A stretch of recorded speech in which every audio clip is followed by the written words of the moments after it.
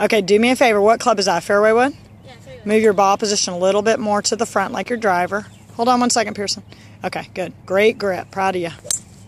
Nice. That feel better? Yeah. Okay. Because sometimes you move the ball in the middle and then you close the face down. Remember, your grip is good now that you don't have to feel like you have to close the face down anymore. And then you got an awesome turn. You've improved so much. Ball position more forward. I'm sorry, honey. There you go. Better? I know it feels weird and looks weird, but it's sure, you're striking it awesome. Okay, ball position's inside front foot. You got it. Grip's awesome. Good turn.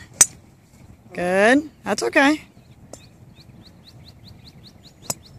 You got it.